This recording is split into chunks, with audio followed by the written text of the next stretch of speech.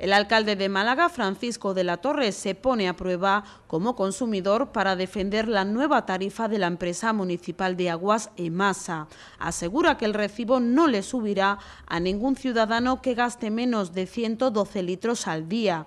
Y para demostrar que es posible hacer un consumo responsable, se ha cronometrado mientras se duchaba ha consumido 11 litros. Para la portavoz socialista, las declaraciones del regidor son una burla. Le ha pedido que reflexione y dé marcha atrás en la aplicación de una nueva tasa que perjudica, dicho, a la mayoría de los malagueños. Que la fragilidad de sus palabras no pueden con la rotundidad de las facturas que reciben los vecinos día tras día en sus casas y donde comprueban uno por uno que las palabras del señor de la Torre se desvanecen o se caen porque no tienen soporte ninguno.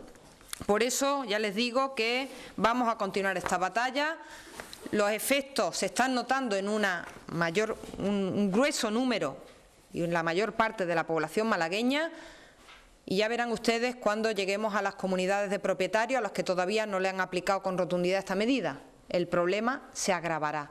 Le pido al señor de la Torre de que antes de que siga agrandándose el problema y siga siendo un problema como lo es ahora, incrementado por el 100% de la población, que lo paralice, que reflexione, que dé marcha atrás. Se lo volvemos a recordar porque mientras esté mirando hacia otro lado, los ciudadanos seguirán protestando como lo están haciendo, irán incrementando su nivel de desafectación de este gobierno municipal y queremos advertirle que este no es el camino. El camino es estar con los malagueños que lo pasan mal y no, como hace el señor de la Torre, darle espaldas y dar consejos morales de austeridad que solo caen en el ridículo.